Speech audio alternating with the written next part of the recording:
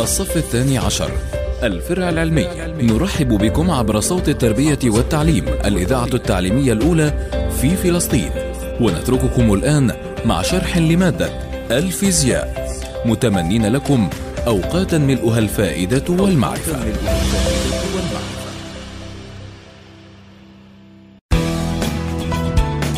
الشرح المفصل لمنهاج الثانوية العامة برنامج تفوق. تتابعونه عبر صوت التربية والتعليم برعاية الكلية الجامعية للعلوم التطبيقية رائدة الإبداع والتميز.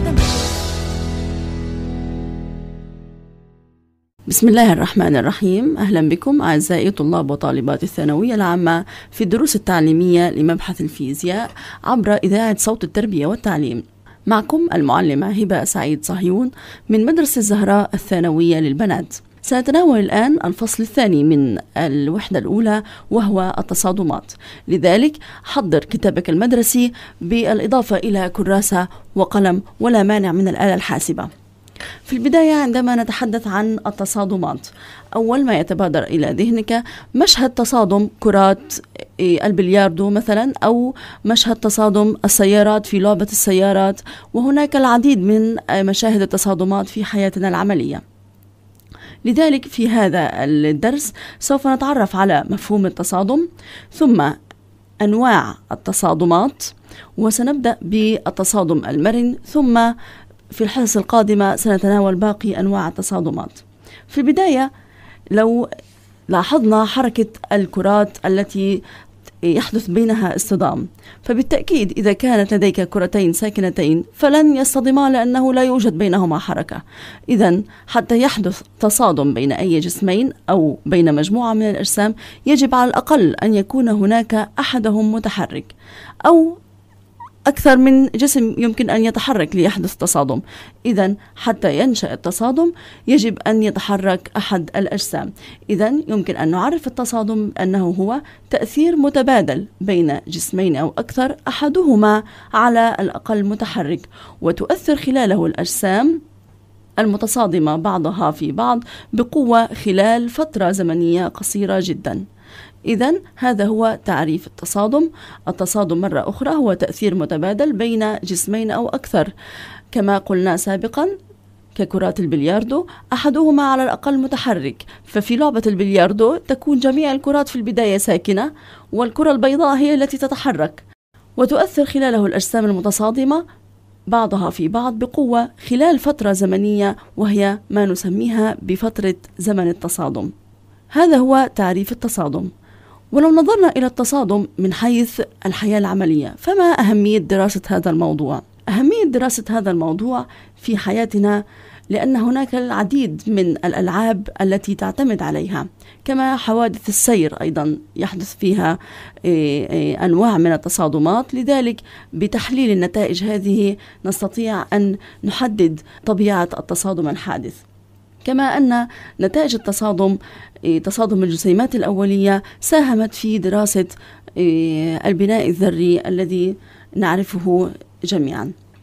سنتناول أنواع التصادمات.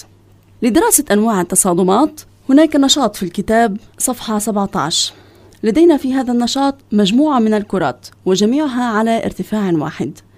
إذا هنا كرة من الحديد وكرة من الزجاج وكرة من المطاط وهنا الطين الرطب أو الذي نعرفه جميعا باسم الطينة الصلصال اللي بيلعبوا فيه الأطفال. ونلاحظ أن هناك ارتفاع محدد في الشكل وهنا المطلوب أن تقوم بإسقاط الكرات من نفس الارتفاع وتلاحظ مقدار الارتفاع الذي سترتد إليه كل كرة.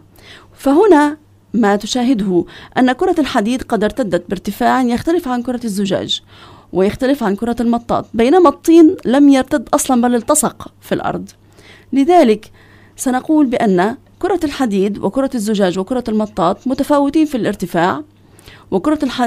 وكرة الطين التصقت فبذلك نقول بأن هناك فقد في الطاقة.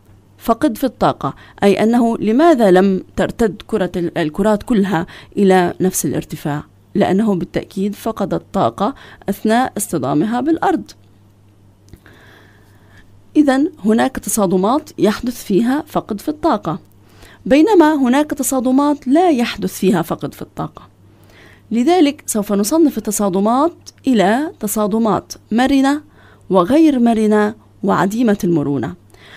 التصادمات التي لا يحدث فيها فقد في الطاقة هي التصادمات المرنة.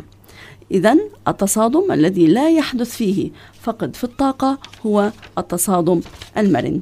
أما إذا حدث فقد في الطاقة فيصبح التصادم تصادم غير مرن وإذا التحم الجسمان معا كما حدث في التصاق الطين بالأرض فنقول بأن التصادم في هذه الحالة تصادم عديم المرونة وهو يخرج كنوع من أنواع التصادمات غير المرنة لأنه فاقد فقد كبير جدا في الطاقة. إذا سنبدأ الآن بمفهوم التصادم المرن. سنبدأ بمفهوم التصادم المرن. في صفحة 18 في الكتاب المدرسي هناك نشاط يستخدم فيه السكة الهوائية. السكة الهوائية من الأجهزة الموجودة لدينا ولكن إيه، لا نستخدمها كثيرا في الأنشطة. لذلك يفضل أن تكون على دراية على الأقل ببعض المعلومات عنها لأنه ربما يطلب منك استخدام للسكة الهوائية. فنقول بأن السكة الهوائية هي جهاز يستخدم في دراسة أنواع التصادمات وقد مر عليك في الحادي عشر في دراسة قانون نيوتن الثاني وحساب تسارع إيه، الأجسام التي تتحرك. عن طريق السكة الهوائية.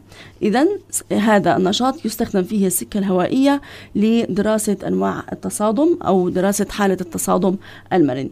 ففي التصادم المرن فنقول في البداية إذا كان لدينا كرتان فعندما تصطدم الكرتان مع بعضهما البعض فإن كل منهما ستؤثر على الأخرى بقوة. مثل قوة الفعل ورد الفعل. أساسا أنت عندما تضرب الكرة بالأرض فإن الكرة ستؤثر على الأرض بقوة فعل والأرض ستؤثر على الكرة بقوة رد الفعل.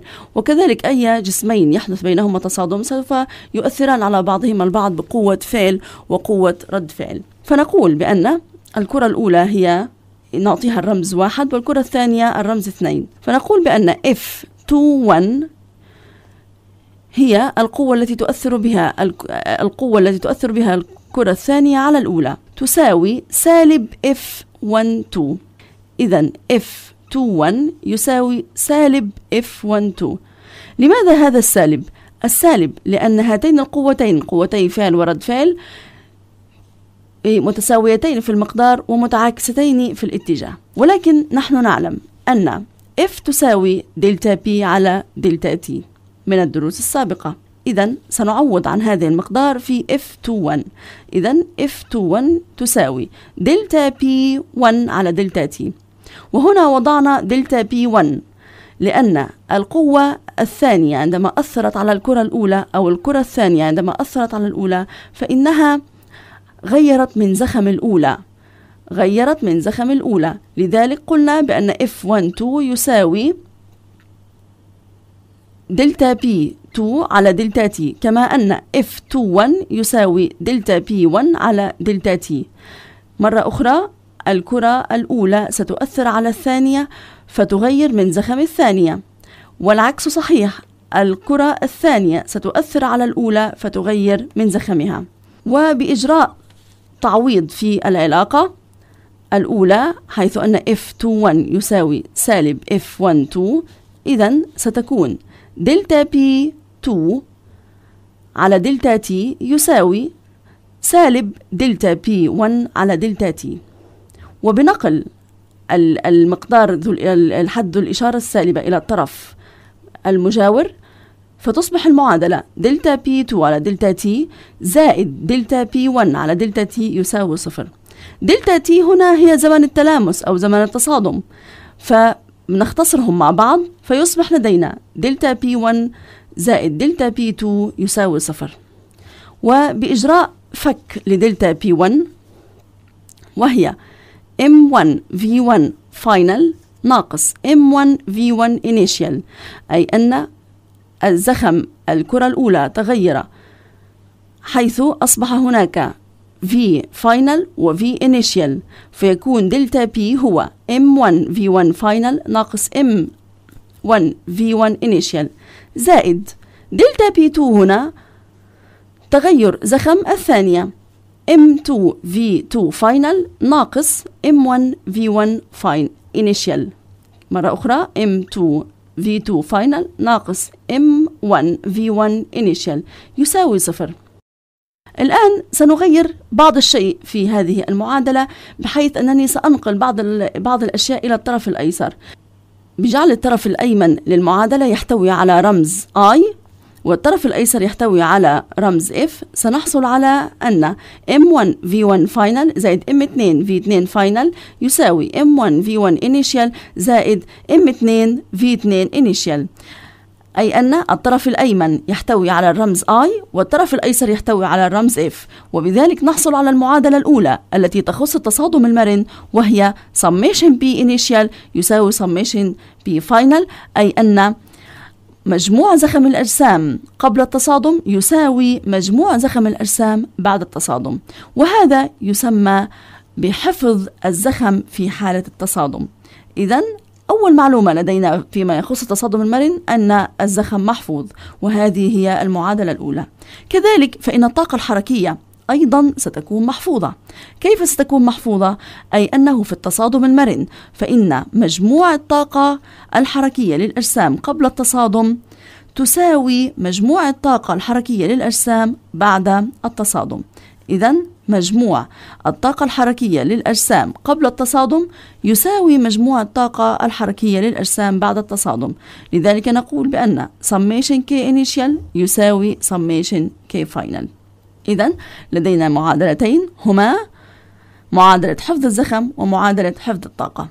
هنا في موضوع التصادمات سيرد لدينا مفهوم جديد يخص السرعات.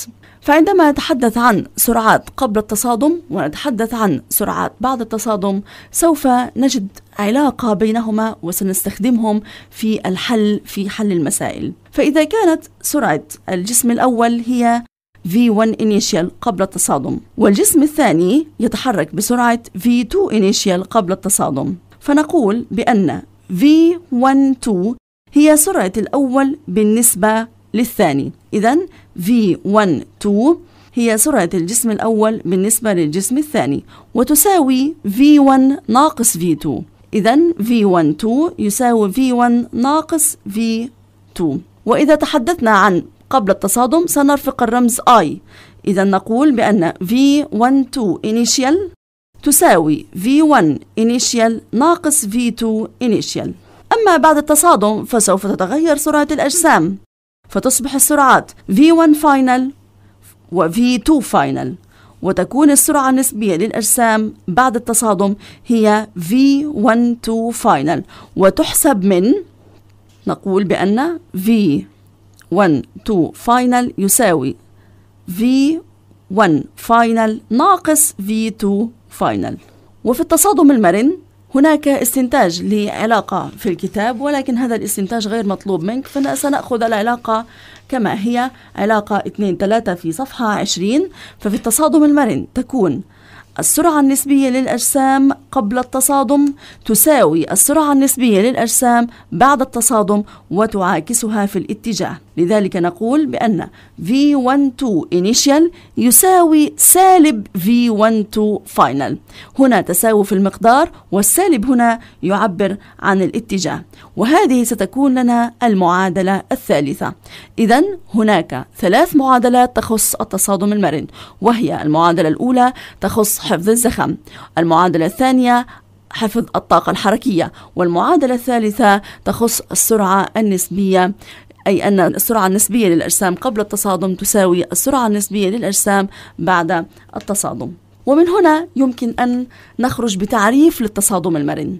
تعريف للتصادم المرن. فكيف يمكن أن نعرف التصادم المرن؟ سنعرفه كما يلي. التصادم المرن هو تأثير متبادل بين جسمين أو أكثر أحدهما على الأقل متحرك بحيث يتحرك كل من الجسمين بشكل منفصل قبل التصادم وبعده ويتحقق فيه كل من حفظ الزخم وحفظ الطاقة الحركية. إذا هو تأثير متبادل بين جسمين أو أكثر أحدهما على الأقل متحرك بحيث يتحقق حفظ الطاقة الحركية وحفظ الزخم وفيه ينفصل الجسمان بعد التصادم. لدينا هنا في صفحة 21 سؤال. هذه مجموعة كرات التصادم. السؤال يتكون من شقين. الجهة الأولى الكرة ترتفع من الجهة اليمنى للكرات. في الجزء الآخر من الشكل ترتفع كرتين. فهنا السؤال حينما تتصادم كرة بمجموعة كرات ساكنة تماثلها في الكتلة لماذا لا تندفع كرتان أو أكثر؟ إذا هنا إذا لاحظت الشكل يوجد بين الشكلين هنا إيه، في إشارة. إشارة إنه هذه الحالة لا تتحقق هي معناتها. معناته إنه هذه الكرة لما أرفعها أنا من اليمين ليه مش حترفع كرتين؟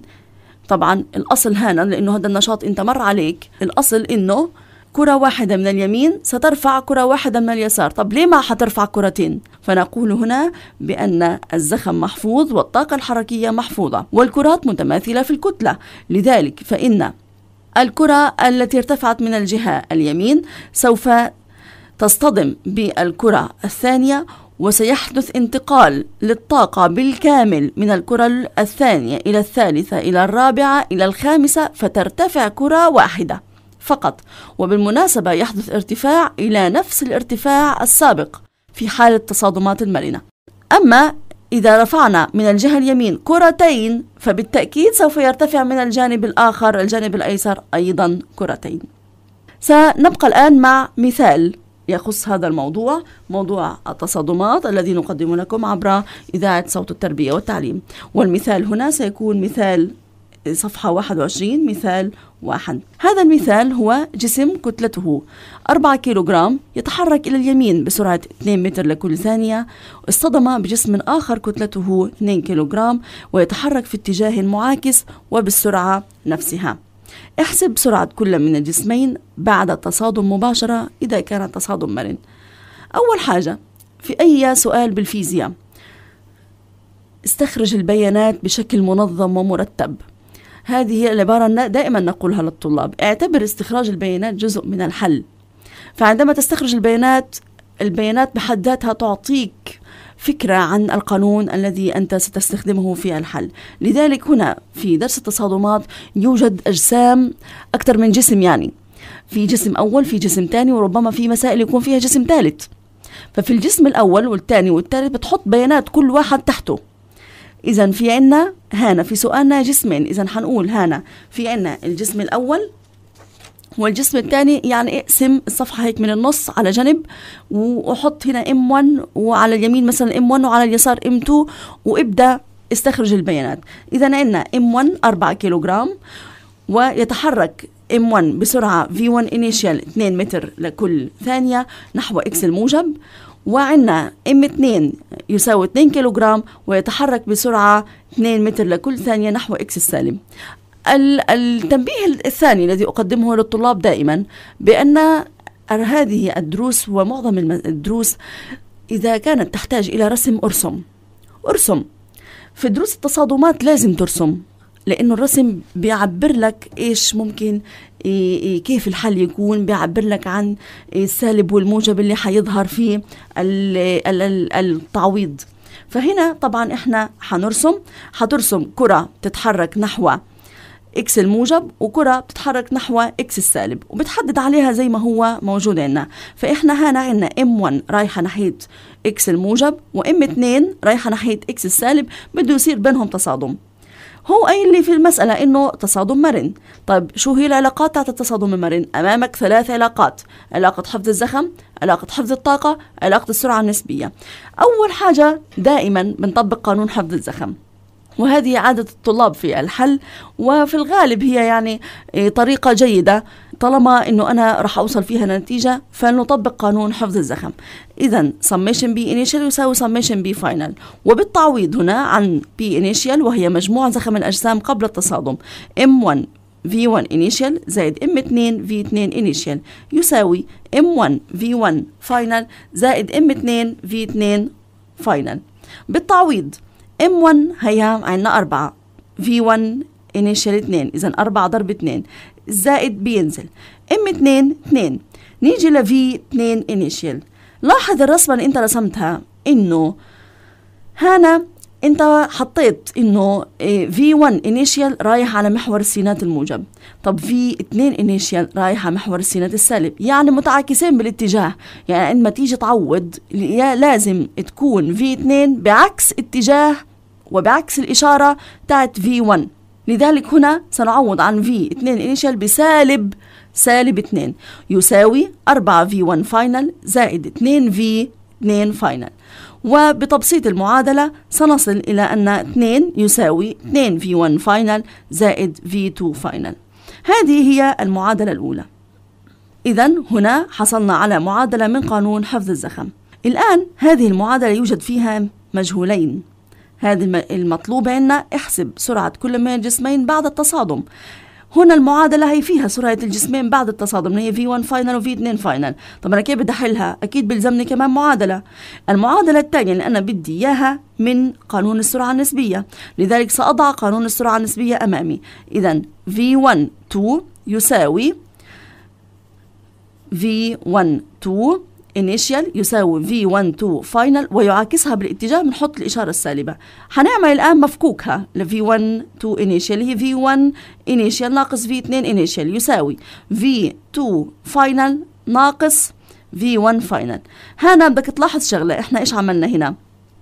في المفكوك الأصلي للمعادلة اللي هي V1 2 initial يساوي سالب V1 2 final. لو اجيت أنت تفكها بدها تصير V1 initial ناقص V2 initial يساوي.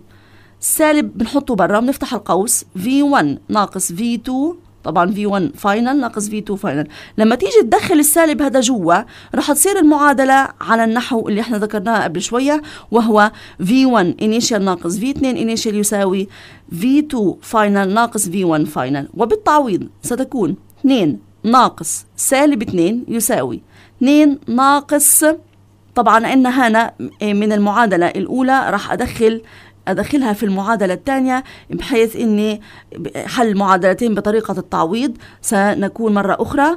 2 ناقص ناقص 2 يساوي 2 ناقص 2 V1 final ناقص V1 final وبذلك حصلنا على معادلة فيها بس مجهول واحد فهذه هذا المجهول هو V1 final إذا V1 final بإجراء الحسابات للمعادلة ستكون سالب 2 على 3 متر لكل ثانية و V2 final 10 على 3 متر لكل ثانية. هنا تظهر إشارة سالبة في V1 final أي أنها نحو X السالب وتظهر إشارة موجبة في V2 final أي أنها نحو X الموجب.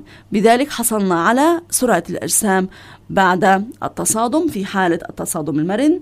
لديك سؤال في صفحة 21 لديك سؤال في صفحة 21 واجب بيتي عليك أنك أنت تحله وبه سنبدأ الحصة القادمة. أعزائي الطلاب شكرا لحسن استماعكم. ألتقي بكم في الحصة القادمة لعرض درس التصادم غير المرن. كانت معكم مقدمة الدرس المعلمة هبة سعيد صهيون من مدرسة الزهراء الثانوية للبنات عبر إذاعة صوت التربية والتعليم. إلى اللقاء. الشرح المفصل لمنهاج الثانوية العامة برنامج تفوق. تتابعونه عبر صوت التربية والتعليم برعاية الكلية الجامعية للعلوم التطبيقية. رائدة الإبداع والتميز.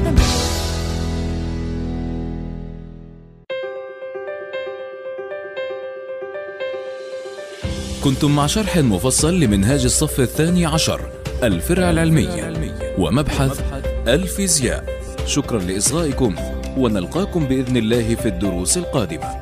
مع تحيات إذاعة صوت التربية والتعليم.